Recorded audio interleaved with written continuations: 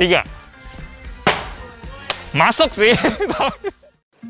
Yang dilempar sama Bang David barusan itu adalah iPhone 11 ya, yang baru dikirim sama dia barang baru di mana dia dibayar buat ngancurin iPhone 11 tersebut. Yang mana menonton video tersebut memberi tekanan batin yang sangat menyakitkan ya terhadap jiwa miskin gua.